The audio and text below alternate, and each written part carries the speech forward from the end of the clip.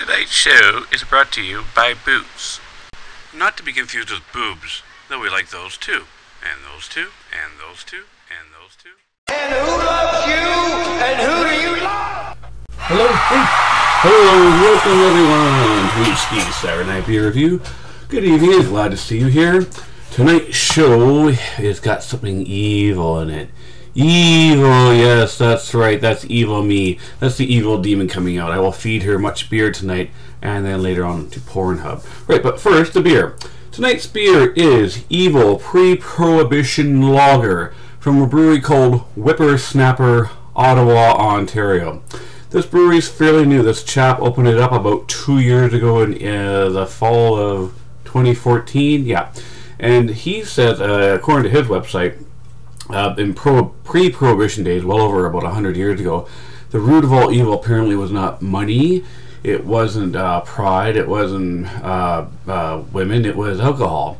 So that's why they made beer. So this beer is in testimony to that. And apparently this beer, it's a lager, but it's also laced with smoky malt and roasted corn. We've never had a beer with roasted corn, so this will be quite different, I must say. And uh, yeah, you got evil on there, and apparently his website's all about getting out and doing stuff, but uh, but it doesn't seem like it seems like pretty well going out and doing stuff. For me, I can't tell you about the evil stuff I've done. I'm bound under the Security of Information Act. So for the beer, we got Big Brass Boobs. Yeah, she's quite malevolent, and she's going to help us open this beer tonight. I mean, it's not a not a terribly strong beer. I think it's your standard five percent alcohol. Oh, it's four and a half percent, so it's not that strong at all. Okay, so judges, how's that for a pour? Mm-hmm. Okay, very very cloudy, very very pale looking at the lager, but you can see it's very very cloudy there. It must be all that roasted corn and stuff in it. Ooh boy, you can smell the corn too. Okay, it a try. Okay, wow. Okay, it is a lager, but it's got an aftertaste of corn to it. Is it a bad aftertaste? In my opinion, yeah, it's a little bit too much. It's not a bad beer, but you know, some aftertaste are good. This one's a little bit too much. Yeah, it's uh,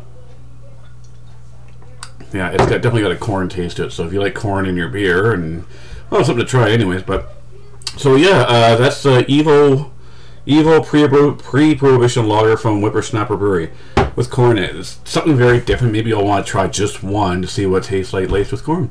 That's all we got. All right, you all have yourselves a great weekend, and uh, hopefully we'll try. We will not be doing a craft beer next week. Got something from outside the country finally.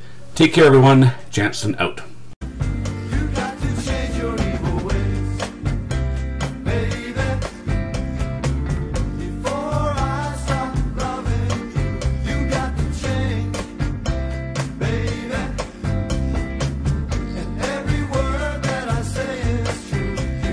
Running.